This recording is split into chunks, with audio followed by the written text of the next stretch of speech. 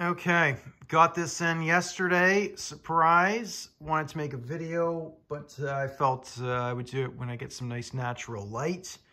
So here it is, the Star Wars Toy Guide Volume 1, Kenner Action Figures, 1977 to 1985 by Gianni Venturini, Churny, and uh, Greg Armstrong. Sorry, I can't even speak. I'm getting my uh, teeth done, so my apologies. I got this weird lisp thing going on. But uh, anyways, we really do care. Look at this. They even send you out uh, one of these recommendations. Keep the book on a flat surface, you know. Um, excellent. You know, you don't want to be putting it on your lap to cause unnecessary warps, warpage. Anyways, uh, this is the first time I open this up, so let's uh, go. I have seen a few pe other people's reviews. Okay, so here you go. And uh, Wars Guide Volume 1. I can't wait to Volume 2.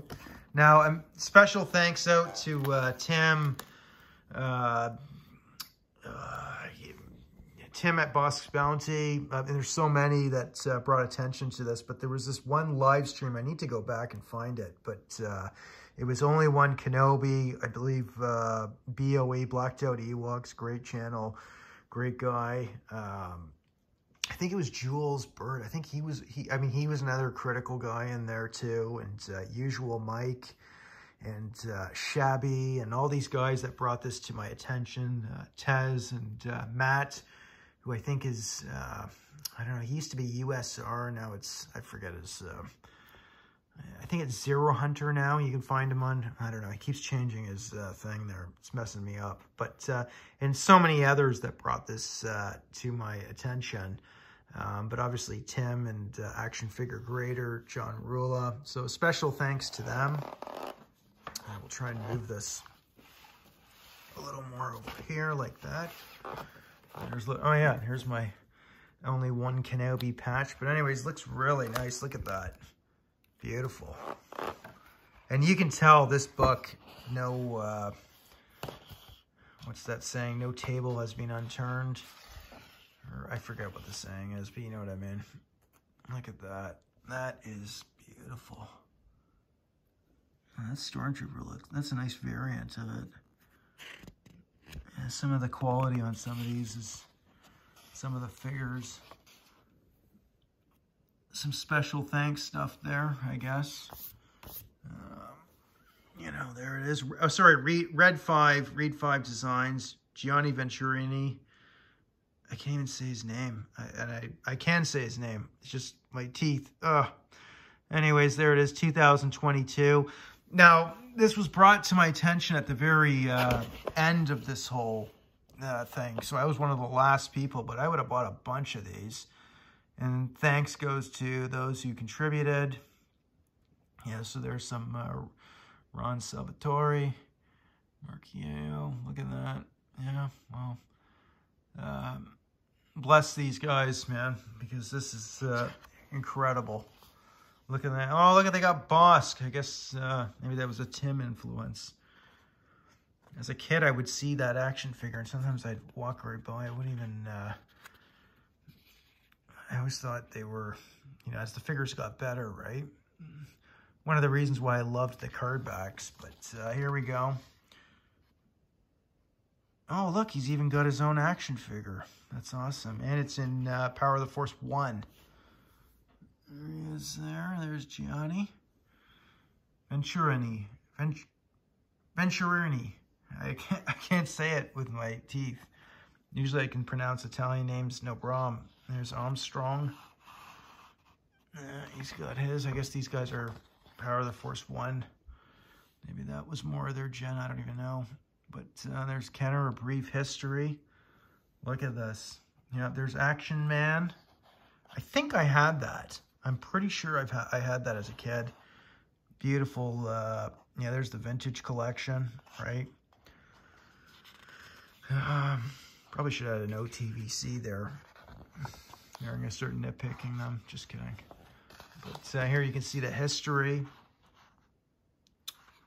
Yeah, the evolution of the action figure. Like here, here it is, the famous uh, mail away early bird certificate. You got the original four there. And, and the famous display. I can't wait to the second one already. I haven't even looked at this one. Oh, and the here's some of my apps. Here's two of my absolute favorites card backs. Uh, Snow Trooper is probably my favorite, and the Boba Fett this version. I actually like this version better than uh, the Blue Sky Fett. Not that I don't like the Blue Sky, that's right up there too, but I don't know. Look at these different variants. Here we go. Oh, look at this. The history of these. You know, this is all um, Hasbro has to do, you know. It's just re-release them just like this, and you just you know, at least get the card backs done. What the hell? And the vintage collection should be doing the exact same thing. You know, Star Wars Empire, Return of the Jedi. I mean, hell, they've already started on alternative card backs like like this. You already got the Canadian Yoda. Like, why not keep going? You know, you, you anyways, I don't make a rant. This is supposed to be about this book. Beautiful. That's beautiful. Beautiful. You know, just, there's the Blue Sky Fett. It's like, why couldn't they just do that? You don't even get his pist. You don't even get him with his uh, with his rifle there. You know, I mean, that's just ridiculous on the uh, TVC. But uh, yeah, Bossk. That's a beautiful card back. In regards to the vintage collection, I have her unpunched. That's one of the nicest card backs out there. It looks so good. And oh, look at that nice Yoda. I had that. That was that was a figure I got. I think in 84, and it was an Empire Strikes Back card back. I think it was punched, if I remember, but I remember getting that and going, whoa, wow, it's an Empire Strikes Back card back. You know. Um, uh, actually, I think I had, I got a second one of him, and it was the Empire Strikes Back card back, and that was actually in 86. So there was still a few Empire card backs. It was a little beat up, but it wasn't that bad. I wanted to keep the card back, but anyways. Uh, memories, right? Yeah, these, the telescoping. I had this version for sure, because I had at least three R2-D2s, uh, you know, as a kid. Ah, the Imperial TIE Pilot. This was the biggest, biggest demand here. Oh, with Zuckuss, see, there's all the different variants. There's supposed to be like a sticker uh, thing that you can put the stickers on or something eventually. I don't know. Once they've been found or something. Um, here's the notes here written. Like, look at the detail on this. Just incredible.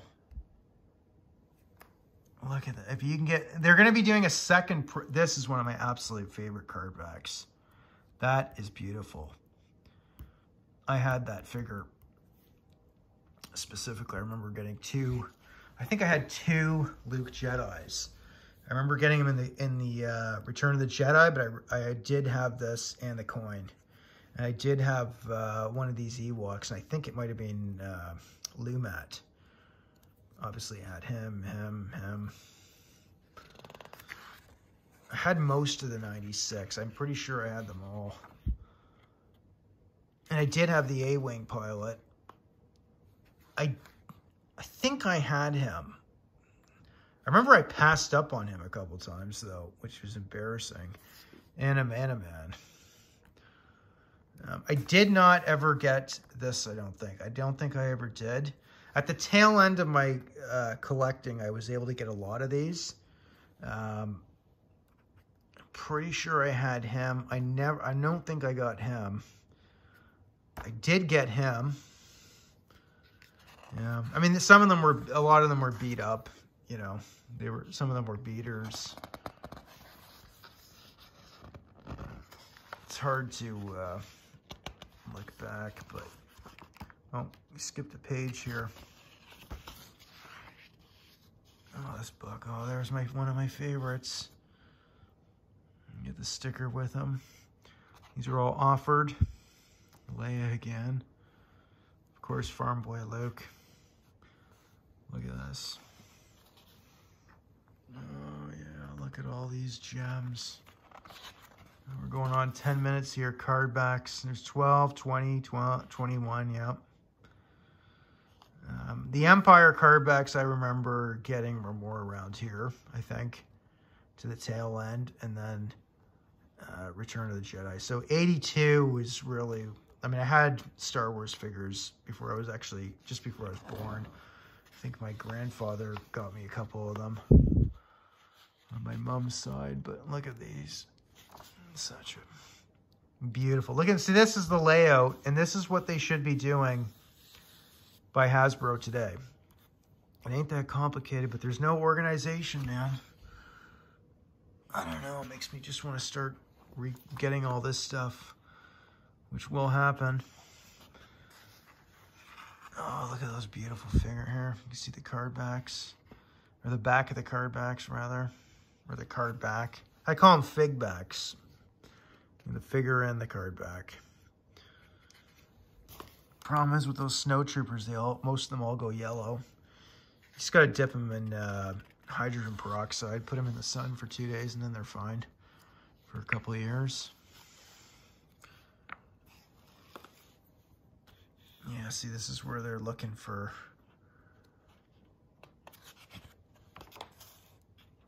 get the sticker sheets.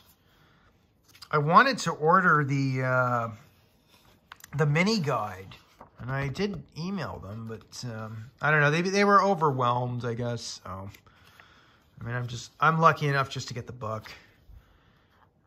You know. Um, but this is, you know, even if you're not, if you can't afford to really get into the original TVC, or sorry, the original Kenner, um, buy this book. You know, it's the closest you're going to get. And then you can just pick up a lot of the retro line and maybe the odd. Uh, you can either pick up some of the card backs, a few of them loose here and there, but I guess we'll sort of skip along here. Here's the Stormtrooper. Oh, Trying to get him was the biggest problem. Where I finally got him was in a Return of the Jedi. And I think, uh, I remember it was in Oakville Place. And I don't see him under a Tri logo here. But um, maybe that's in the later. You know. Oh, Luke Skywalker, Bespin. I remember a lot of times I passed up on this figure, even in uh, when it came to uh, coming through on garage sales and that. I just wouldn't really. Sometimes, I, sometimes with these figures, like I just wouldn't even clue in that they were. It almost confused me. This was a figure I loved as a kid. I remember getting him. Oh yeah, here we go. The Zuckuss and the 4-LOM. He's actually supposed to be 4-LOM, but whatever. Maybe he is Zuckuss. Oh yeah, I remember getting this Return of the Jedi, this exact card back. Just incredible. Oh, there's the Piglet. That's what I used to call him, Gamorrean Guard. Oh, wait a second here. I I just, oh yeah, here's where it opens up. Oh, look at that. Shows some of the difference in variants there. Oh, look at this. Oh, it's worth a bit of money these days. Dengar hand. Oh, just incredible. Great figure. As a kid, I loved these two. The Luke. I loved it all. This is a figure I don't think I ever bought or I was able to get. Uh, Han, I didn't have him. I think I did get him actually, but his his, his arms and everything were all wobbly. Um, I'm not sure. At the tail end of it, I was able to pick up, I think, like 17 or 18 more of them. And I had about 55 or 60 um, figures. And then I was able to pick up pretty much really close to the 96. And I put them in this yellow uh, box container. And yes, I did have at least 100% I know I had one of these. Um, what a mistake. What a, oh, man. My mom gave them away. And that, and along with all these spare weapons I had, because I had those weapon packs. Oh, man. It happens. This is just fantastic. What an amazing book. Just incredible. Okay, so then you start getting into... Yeah, I'm just going to give you guys a little bit of a... Oh, there, here, this is what I mean. These are what... This is perfect, because this is going to make me want to get all the vintage... I hope these guys do a vintage collection one, but... Problem with the vintage collection, it never ends. I've been getting this one. I have two of these. Oh, there's one they should... I don't think they've done that. I got that. In, in TVC, right? Got to get this and that. But, um, you know, it's not hard, Hasbro. Just do all this. I remember when I got my Stormtrooper, and I only got one. Um, they were expensive at the time, and they had a whole stack of these, and I was begging my parents to get me this. It was, it was at the tail end of Return of the Jedi, too. It was in 86 or 87. And some dealer guy came in or collector and bought the whole thing. So I, I wasn't able to get back there for a good month and a half, two months. And they're like, oh, it's all gone. Sorry, son. Nope, no more. Oh. I don't know if they got any of the droids lined up in here. Alden's Christmas 1979. Yeah, I remember as a kid in the 80s, and we'd go through, uh, oh, what the hell was it called? When you have, like, we'd go through magazines and stuff like that. We had to, and I'd look for the older Sears catalogs, and I'd find sometimes this stuff, and I'd try and take it home with me, looking for old Star Wars stuff. Incredible. Just J.C. Penney's Christmas, yeah. Death Star playset.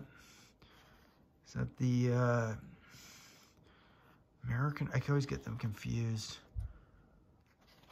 I don't know, whatever. I think the I think the Palitoy one is better. Whatever. Here's another thing. Why is Hasbro not uh, relaunching some? Yeah, I've got one of these.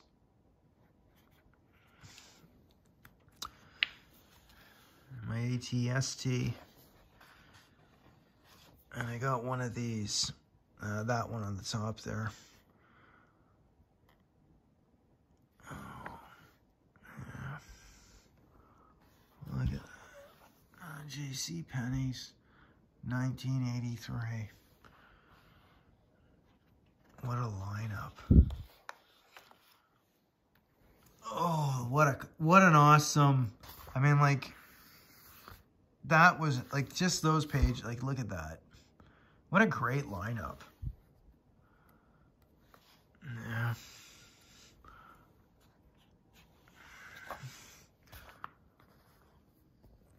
Oh, yeah, 84. You know, some people say when they came to the power of the Jedi, uh, when the, this stuff started coming out, that Star Wars was dying down. Yeah, it was, but it also wasn't. As soon as VHS tapes were hitting, or as soon as it started playing on TV, uh, um, the stores would get hit by uh, waves of people wanting to get uh, that's interesting. Oh, he put the thing on top, yeah. But uh, waves of uh, kids coming and parents asking, where's all the Star Wars stuff? Interesting. Coins. Oh, wow, they even did all the coins. Incredible. Look at that. Oh, the proof cards. Now this would be awesome. Because it really is. I mean, I like it when you don't have the stickers on them myself. Or I don't mind the odd one, but I mean, like if you just had, like this is where it's at. You know. God knows how much stuff has been lost over the years. Here's the droids lineup, which I... I had a few opportunities to get some of this stuff, and I never did. What an idiot. What a fool. The worst was walking by the A-Wing a couple times. And I, my brain just didn't clue in that that was actually... You know, and this show actually wasn't too bad. It was pretty damn awesome for a cartoon. You know. But, uh, yeah, A-Wing pilot. I think Anthony Daniels was devastated when they... Oh, here we go. The nice 12 backs. Yeah, Anthony Daniels was devastated when they... Uh, the show failed. That would be a nice C-3PO. Look at that nice vac metal. That's impressive. I think, is that, no, it's not, I don't know if that's the, anyways, no, there it is. 31 backers. Oh yeah, I guess that's the the initial uh, Kickstarter. Germany had 53, Sweden 9, Netherlands. I don't think they got anybody from Norway. Holy cow. Spain, yeah. If I'd known, I you know Australia, yeah. Incredible.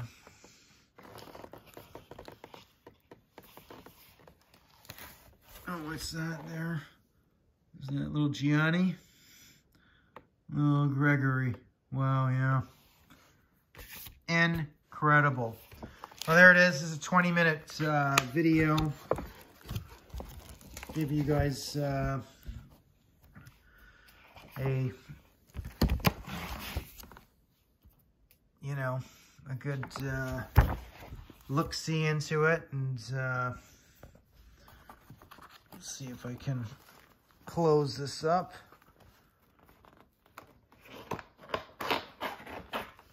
Damage this here, I'm doing this one hand.